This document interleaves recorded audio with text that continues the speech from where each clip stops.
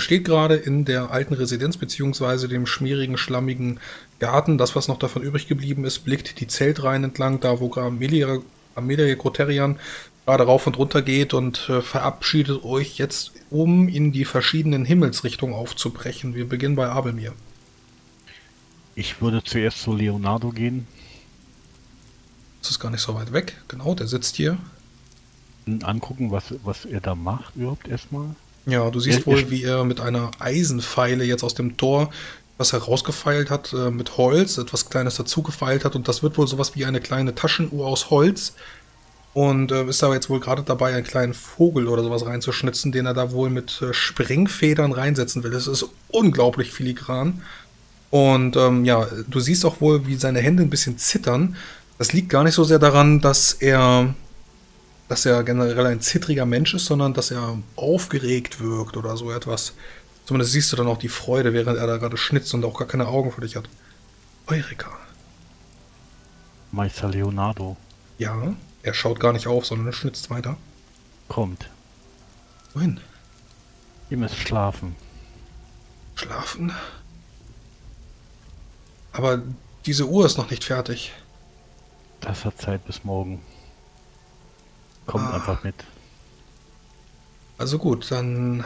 Aber ich nehme sie mit. Gerne. Und ich würde ihn begleiten zum Pendagon-Tempel, um da hoffentlich ein Dach über den Kopf zu haben und vielleicht einen etwas wärmeren Ort zu finden. Mit einem Herdfeuer vielleicht. Ja, dann kannst du gemeinsam mit Leonardo in Richtung Süden gehen.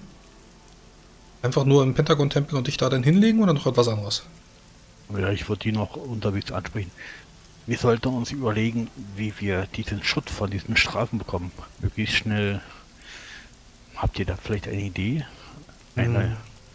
In äh, Jolgormak sind damals auch oft Häuser eingestürzt oder. Äh, nun, um die Trümmer beiseite zu schaffen, haben wir meistens so etwas wie einen Darei benutzt oder ein Jekris Lakurai oder so etwas. Und ich dachte mir an eine mechanische Konstruktion vielleicht mit einer, ich weiß nicht, mit einem großen metallischen Gerät, was diesen Schutt wegschiebt, anhebt. Mhm. Definitiv. Magomechanisch wäre da sicherlich auch noch einiges zu tun. Beherrscht ihr denn die Beschwörungsform eines Agribalim? Nun, ich, äh, ich würde ein elementares äh, Beschwörung bevorzugen. Eine Anrufung das würde natürlich auch funktionieren. Die Magomechanik ist natürlich äh, herausragend. Wir können natürlich etwas konstruieren, was über ein paar Springräder funktioniert, ein paar Zahnräder, die dann ineinander greifen.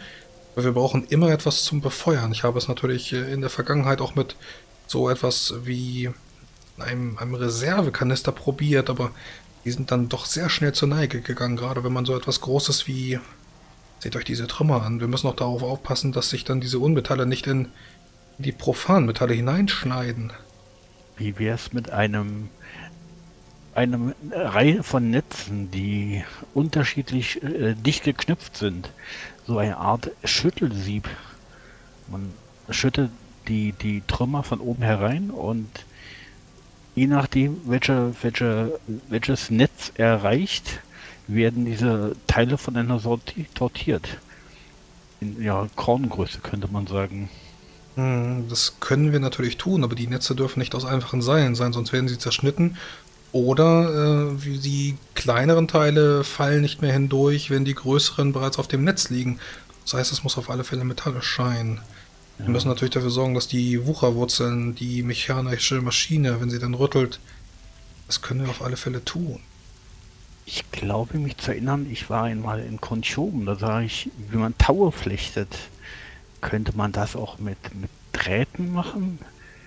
Wenn man diese Drähte gegeneinander verdrillt, so wie ein, ein, ein dünnes Seil zu einem großen Reb geknüpft wird. Hm. So etwas Profanes wie Fischerei, sowas hatten wir natürlich auch damals in Havena, aber selbst der Üsli-See, da hat man nichts mehr rausgezogen. Wir haben damals versucht, so etwas wie ein, wie ein Unterseeboot zu bauen, abgeschlossen mit einer Luftkammer. Wir waren noch dabei, als Galotta dann Kolakai herausriss. Ja. Aber wenn man die, diese, diese, diese, diese Seile, wie auch die Metallseile gegen einfach diese, diese Seile müsste eine größere, sehr viel größere Reißfestigkeit haben als ein normales Seil, vermute ich mal. Ja, ja, ja, schon. Aber das ist, das äh, klingt mir alles zu sehr profan. Das soll doch ein gewöhnlicher Handwerker tun. Das, was wirklich den Kopf und den Geist fordert, ist doch die Mechanik dahinter. Was bringt das Ganze zum Schütteln? Was bringt die ganze Maschine zum Antrieb? Und benutzen wir Feuer oder etwas anderes? Wo binden wir dann diese Geister hinein oder diese Elementare? Welche Metalle eignen sich gut und welche eignen sich nicht gut? Haben wir einige Kristalle oder Diamanten zur Verfügung, einige Rubine? Ja, und so könnt ihr dann durch die Straßen marschieren, über Schutt und Ascheberge, Trümmer äh, klettern und äh, erreicht dann während des Gesprächs irgendwann den Tempel. Könnt euch dann weitere raffinierte Ideen ausdenken, bis ihr dann komplett übermüdet in den Schlaf fallt. Dieser Runde. Ähm, genau, ich hatte mir ja von Rafim den Beutel mit Brins Arm und Herz geben lassen und möchte jetzt Ludolf aufsuchen. Ich glaube, Jalan wollte mitkommen. Jo. Ja, dann könnt ihr ihn erkennen. Er steht da wohl gerade zwischen den Zelten und unterhält sich mit äh, zwei, drei anderen Soldaten, die da auch ähm, gerade durch einen Durchbruch gekommen sind, berichten ihm da wohl gerade von einer Passage, die jetzt wohl zum Schlossviertel geschlagen ist und die bestätigen wohl gerade, dass der Rondra-Tempel voller Leichen ist die da jetzt mittlerweile nach äh, aufgebahrt werden und Bruder Stygomor ist tatsächlich dort. Dreht sich dann zu euch um, betrachtet erst euch und sein Blick wandert dann in Richtung des Beutels, der auch mittlerweile durchgeblutet ist und äh, rote Flüssigkeit, die darunter tropft. Es riecht nach metallischem Eisen. Oh ja, hochwohlgeboren. Habt ihr wohl einen kurzen Moment für uns? Du meinst den Marschall? Ja? Äh, ja, hab ich. Nicht so förmlich. Hm, vielleicht könnten wir uns etwas äh, abseits hinstellen, dass es nicht jeder gleich sieht. Ja, selbstverständlich. Gut, äh, dann äh, Tyria, Peranian, danke. Abtreten. Kümmert euch um die Bedürfnisse. Gerade das äh, Schlossviertel muss wieder aufgebaut werden. Bis nachher. Ja, wenn dann alle abgezogen sind, ähm, öffne ich den Beutel und zeige den Inhalt Luda. Gott. Wir waren innerhalb der fliegenden Festung und sahen dies aufgebau aufgebahrt.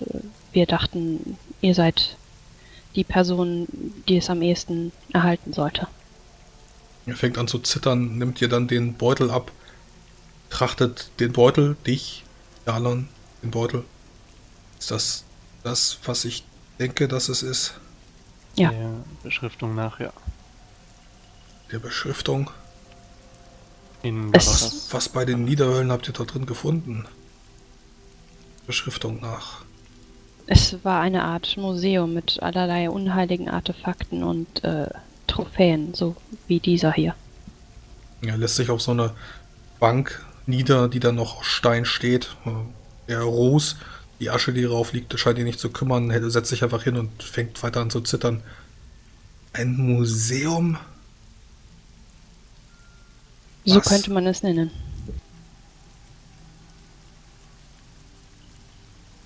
Wir wollten die Überreste nicht einfach so dort lassen. Andere Dinge haben einen höheren Gefahrenwert. Deswegen müssen wir nochmal zurückkehren, aber wir wollten diese Sachen nicht zurücklassen. Ich danke euch. Brauche ein paar Minuten. Brian, vergib mir. Lasst mich allein. Natürlich. Wenn wir dann einige Sch- außer Hörweite sind. Äh, nun, das lief etwa so gut wie erwartbar war. Ich denke auch. Vielleicht sollten wir einen von den Arbeitern heranwinken und äh, Ludolf etwas zu trinken lassen bringen. Irgendwas Starkes. Wenn noch etwas Starkes zu finden ist, ja, natürlich. Gut, was wollten wir noch machen? Das Reichssiegel. Das Siegel und die Schatzkammer schätze ich und was auch immer wir noch bergen können. Mhm. Wird sicherlich eine Dort- große Menge an wichtigen Unterlagen geben, die drin beschüttet sind. Die hoffentlich nicht alle zerstört sind. Ich glaube, dort vorne wird etwas. hm, sind Leute am Räumen. Wir sollten die mal fragen, was alles noch heile geblieben ist und wo man vielleicht durch könnte. Ja, warum eigentlich nicht? Hey, ihr da! Ja, mein Herr. Oh, Herr Wandstrahler. Frau, Ma Frau Magierin. Frau Wart ihr in der Residenz? Wie sieht das aus? Kann man sich bewegen? Äh, Ja, wir haben äh, einige, einige Trümmer haben wir weggeräumt. Äh, man kann jetzt zumindest nach oben und auch wieder nach unten. Etwas von Wert oder so haben wir noch nicht. Also wir, wir haben nichts eingesteckt, wenn ihr das meint. Natürlich nicht. Das habt ihr gut gemacht. Und äh, die seltsamen Statuen, haben die sich bewegt? Hm, nein, meine Dame. Frau, Frau, Frau gelehrte Dame. Die, die haben sich nicht bewegt. Sollten sie. Nein, also wenn sie sich bewegen, müsst ihr unbedingt Bescheid sagen. Okay, also wir haben gezählt. Ich glaube, es waren fünf Stück, oder? Ja, ja, genau, fünf. Aber Gut. die haben sich nicht bewegt. Zumindest nicht bei den Aufräumarbeiten. Das ist gut. Nun, äh, wir müssen einmal hindurch. Äh, wo sagtet ihr, ist der Einstieg? Dort vorne? Ja, ja, ja, hier, hier könnt ihr durch und äh, dann müsstet ihr unter diesem Balken, den wollten wir noch wegschauen, ähm, den, da müsstet ihr nochmal durchtauchen, dann könntet ihr nach oben und nach unten. Das Gebäude sollte einigermaßen halten. Gut, dann sehen wir, ob wir uns in die Kanzlei durchschlagen können. Gut, dann gebt mir doch mal bitte eine Staatskunstprobe. Wieder einmal, um euch zu orientieren in der alten Residenz. Ah, das Schöne ist, ich bin mittlerweile um zwei Punkte entrückt. Ja. Da Staatskanzler Miracle Plus Talent ist, Ja, ich recht. kannst du dir gerne nehmen. Das sieht gut aus, ihr wisst, was ihr tut. Und, äh, wir müssten hier und Ist dann. Chiara ist äh, mitgegangen? Ja, ich bleib bei dem alten. Okay. Ich denke, der Thronsaal ist da hinten, dann müssten wir eigentlich hier hoch. Sehe ich auch so. Sicher? Ziemlich. Ja, wir waren doch schon mal hier, also zumindest diese, diese Treppenstufen erkenne ich wieder. Also gut. Gut, dann könnt ihr die Treppen nach oben steigen und äh, erreicht dann ja den Raum der Kanzlei. Große, viele verschiedene Schreibtische, die hier stehen, äh, durchwühlt die so ein bisschen. Natürlich ist da noch viel, viel kaputt gegangen und könnt dann einen Siegelring aus Arkanium und Zwergensilber finden, der den Greifen des Reiches zeigt, umgeben von Madamal und Sternen. Hör euch an, wie prächtig hier glänzt. Kein bisschen Ruß dran. Hm, magisches Metall. Können von Glück reden, dass nicht irgendein Plünderer zuerst drangekommen ist. Nun ja, hier sind ja immer noch die ganzen Arbeiter. Isorons Magiekunde, du weißt ähm, eine magische Analyse, die du theoretisch durchführen könntest, aber das ist äh, wohl gelehrt auch in der Schwert und Stab. Das Siegel ist von starker Magie, gildenmagischen Ursprungs durchwirkt, äh, mit den Bereichen Hellsicht und Verständigung. Die magischen Metalle sind also durchaus nötig. Willst du das, was wir suchen? In der Tat. Das wird uns die Sache sehr viel leichter machen, denke ich, wenn wir mit dem Rest des Reiches umgehen müssen. Sehr gut. Ich würde sagen, ja, dann ihr nehmt ihn an euch. In der Tat, bis vielleicht der Reichssiegelbewahrer lebendig aufgefunden wird oder es einen neuen Kaiser gibt, werden wir darauf acht geben. Wir sollten auch schauen, ob wir weitere wichtige Unterlagen hier finden können. Und dann natürlich die Schatzkammer suchen. Natürlich. Und äh, ja, dann bitte achtet darauf, dass äh, ihr ihn nicht mir gebt. Ich wäre dazu verpflichtet, ihn nach Hause zu schicken. Immerhin seid ihr ehrlich. Uns gefällt dies. Ja, dann stecke ich ihn gut weg, da wo Kari noch nicht rankommt. Ich durchwühle derweil, äh, was auch immer ich für Pergament oder Papierstapel finden kann. Ja, okay. Dann können wir uns gleich mal sowas wie eine Zufallstabelle ansehen, was dann noch so an interessanten Möglichkeiten zu finden wäre. Da gibt's Tabellen für? Klar, da gibt's für alles Tabellen. Die Chiaras ist da immer. Ja, immer würde ich ganz gerne äh, durch die Stadt ziehen und gucken, ob er irgendwelche Leute findet, die, die predigen. Und zwar möglicherweise vielleicht noch mehr Leute, die äh, diese komische Art zu predigen drauf haben, wie die Frau, die wir davor erwischt haben. Man wird vor allen Dingen mal auch seine Suche zuerst einmal in der Nähe rund um äh, den äh, Goldschmiedladen ein wenig oder den zerstörten Goldschmiedladen äh, sozusagen ein wenig fokussieren. Dass man sich von da aus dann kreisförmig ausbreitet und sucht. Gut, dann gib mir mal eine Gassenwissenprobe. Kommt Rafim mit? Er wollte zu Chortempel. Ich muss zum Chortempel. Gut, dann bist du alleine. Ja, genau, ich bin ganz alleine. Ich, äh, ja.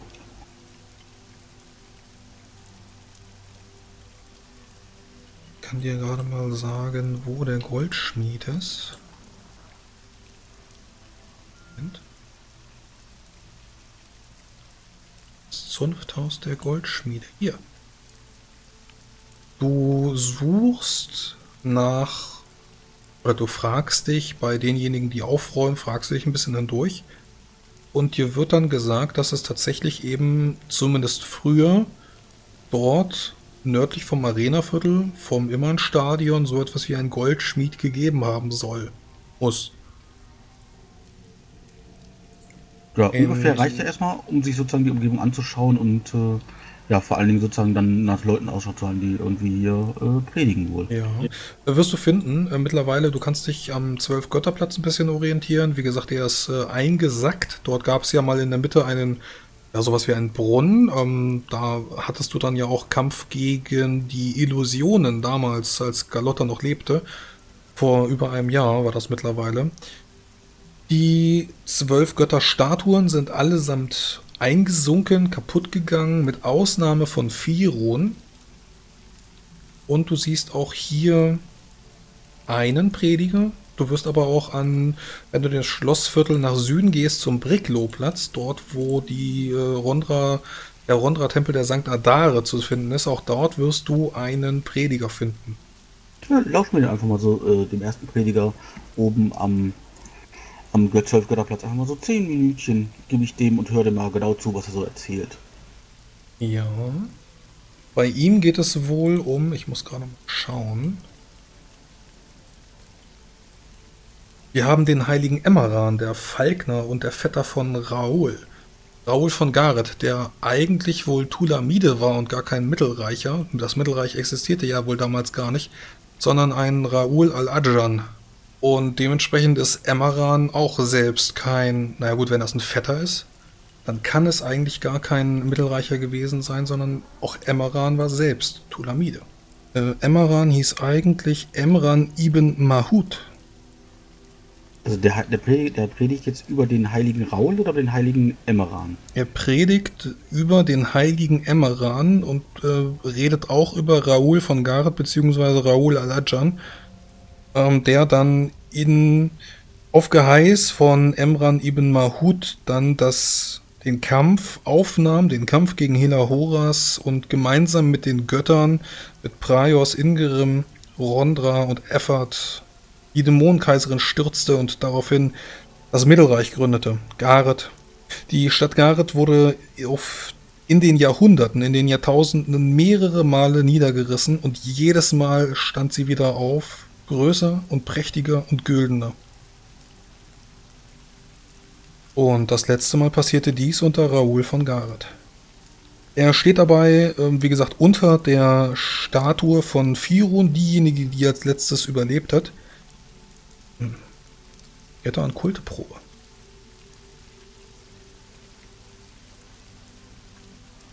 Du kennst dich mit dem Jagd- und dem Eisgott gar nicht so sehr aus. Da müsstest du nochmal nachhaken, aber sah Firun wirklich so aus? Hm. Da solltest du vielleicht nochmal deine Mithelden fragen. Zumindest gibt es hier einen, ja, einen sehr bärtigen Gott in Jagdkleidung, das auf alle Fälle. Links ein Bogen, rechts ein steinerner Falke. Aber ob das die Gesichtszüge von Firun selbst sind? Immer wird einfach mal äh, einen, auf, das, äh, auf die Statue einfach mal einen Odem. Schaut mal nach, ob da Magie ist, wo wahrscheinlich keine sein sollte.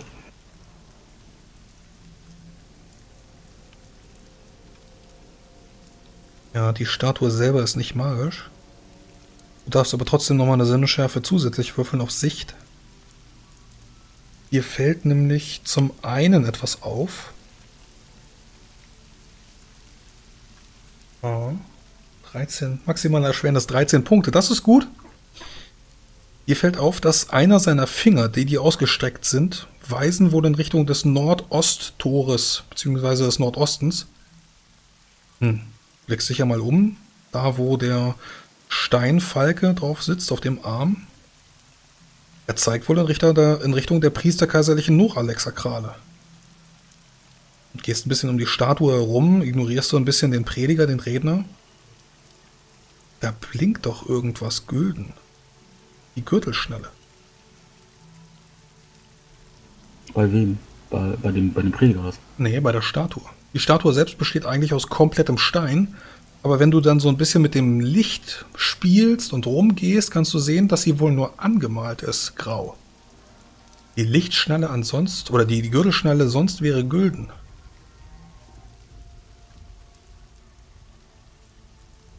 Das ist gut, das hebt man sich auf für die Nacht. Denn nachts wird er bestimmt hier nicht predigen. Dann geht man jetzt zufrieden und äh, dass man sich die Stadt nochmal nachts anschauen will, in die Wolfsklause, um äh, zu besprechen, dass jetzt hier vielleicht ein paar Leute vom Wehrhammer Tor aus äh, zumindest den Weg bis mindestens zur Priester Nora Alexaklale sozusagen fokussieren sollen beim Aufräumen. Und man wird sicher versuchen, ein paar Stunden hinzulegen, um etwas zu schlafen. Wen du im Schlossviertel noch gesehen hattest, am Brecklowplatz, genau neben der Rondra, neben, neben dem Rondra-Tempel der St. Adare, das ist der Rondra-Geweihte, der in dem Rat der Helden kurz vor der Schlacht an den Wolken mit dabei war. Derjenige, dem Arme und Beine fehlten. Er sagte zumindest, dass ihm die Oger ausgerissen hätten, abgebissen hätten. Ach, und der predigt hier? Der predigt hier. Ach, dann hört man dem auch nochmal 10 Minuten aufmerksam zu. Mhm. Geht um den heiligen Vitus.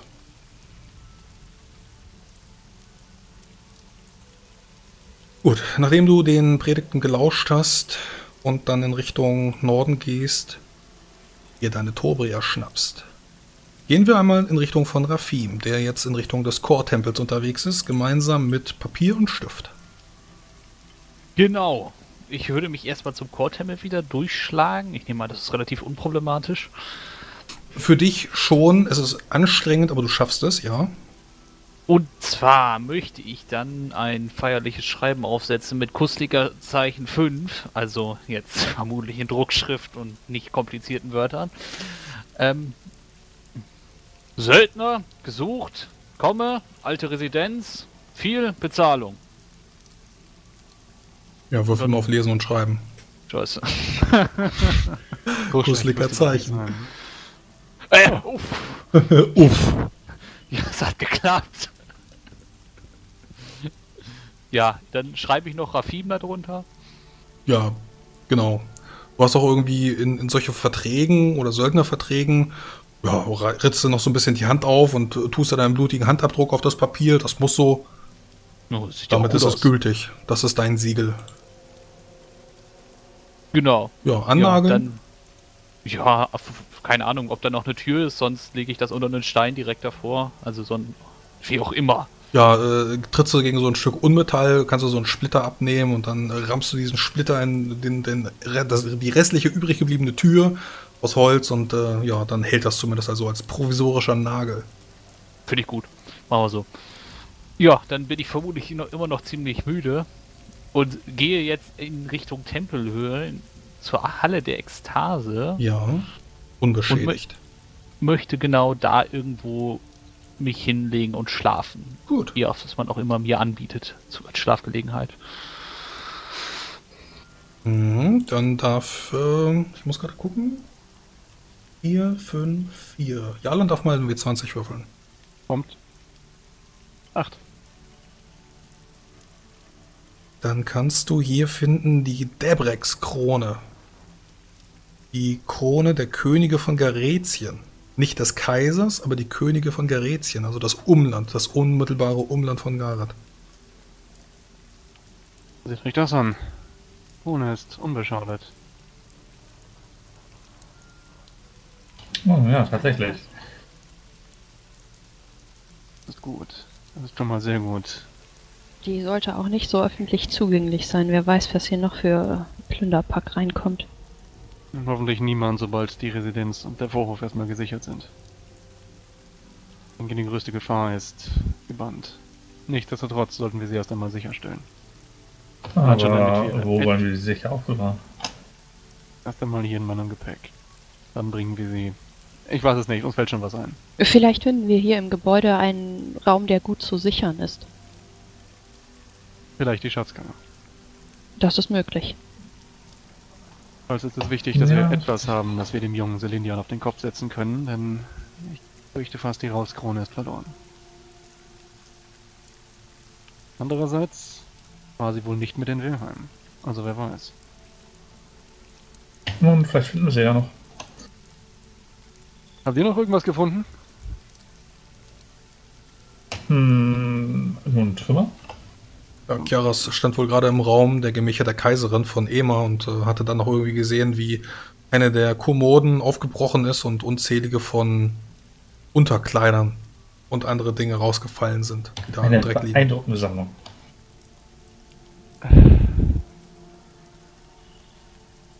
Gut, also ihr wollt nichts Dinge. davon anziehen. Das ist doch Das schön. ist wichtig. Weiter im Text. Ja, Iserun kommt gerade aus dem Zimmer von Prinz Storko heraus und äh, dann könnt ihr euch gemeinsam durchschlagen in Richtung, ja, ihr geht einfach mal in Richtung des Kerkers oder des Kellers. Ähm, seht dann noch, wie die Tür zugeschoben ist, mit, den, äh, mit dem Schreibtisch davor geworfen, dass da die, die Zelote nicht rauskommt und gegenüber davon könnt ihr so etwas wie eine Folterkammer entdecken, ähm, die dann auch einen Fluchttunnel besitzt, ist also von zwei Seiten zugänglich, aber wenn ihr den Fluchttunnel verschließt, dann könnt ihr die Verbindung dann eben auch nur einseitig zugänglich machen und ja, dann hättet ihr da eben sowas wie eine provisorische Lagerkammer, wo ihr die dann einschließen könntet. Ja, das sieht doch hier gar nicht verkehrt aus. In der Tat. Dann können wir hier hoffentlich auch, also der da hinten bei der Zelotin hoffentlich noch mehr Leute einsperren. Ich weiß ja nicht. Was wisst ihr nicht? Nun, ähm, das ist eine Folterkammer. Mit Hintereingang.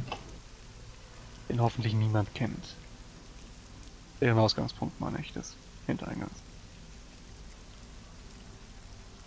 Vielleicht könnten wir ja einfach mal durch den Gang gehen und schauen, wo es überhaupt rausgeht. Und vielleicht ist er ja ohnehin verschüttet.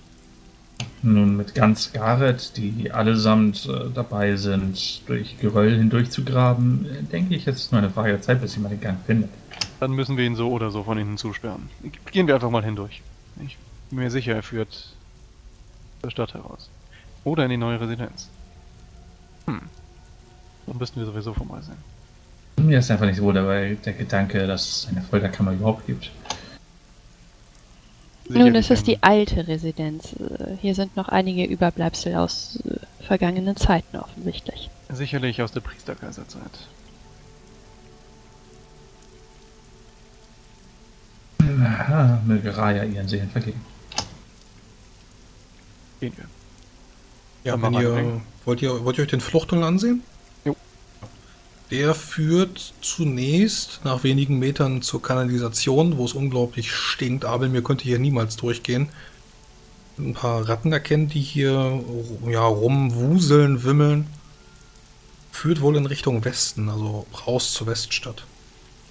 Wirklich ausgebaut ist es nicht. Also wenn man den hier nicht kennt, äh, könnt ihr euch das nochmal ansehen, wenn ihr da so ein bisschen reintretet so verschließbar, dass man das nicht als Tür zuordnen konnte. Man würde einfach gerade dran vorbeilaufen. Also nur wer da hier rauskommt aus dieser Richtung oder wer es tatsächlich kennt, der kann dann eben die Folterkammer auf der anderen Seite betreten. Ich schätze, wir müssen uns keine Sorgen machen, dass irgendwelches Pack hier hineinkommt. Zumindest nicht so schnell. Ich denke, die Leute haben anderes zu tun, als nach irgendwelchen versteckten Eingängen zu suchen. Carino, wir verstehen uns, dass das geheim bleibt, ja? Natürlich. Gut. Erst wenn es wieder rauskommt.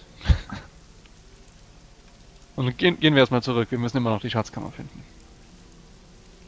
Nun, ich bin es nicht, der ständig alle unsere Geheimnisse ausplaudert. Die Wahrheit ist ein hohes Gut, Karinor. Gehen wir!